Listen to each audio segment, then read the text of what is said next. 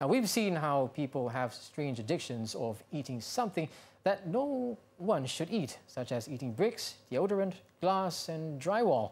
Recently, a granddad named Bobby from New York became an online sensation after slurping down half a can of paint, believing it to be a tub of yogurt. According to a viral tweet posted by his granddaughter, Alex Steen, she shared a few photos of 90 year old Bobby with mint green lips. She also included a photo of the half empty paint can. The tweet has already garnered about 180,000 of retweets and hundreds of thousands of likes.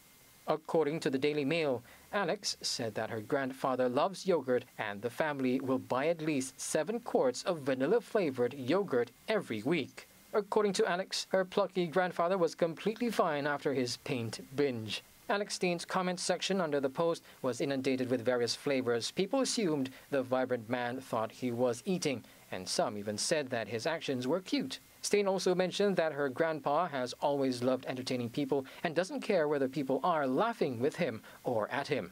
Bobby is full of personality and is often depicted on social media, living his life full of excitement and silly antics.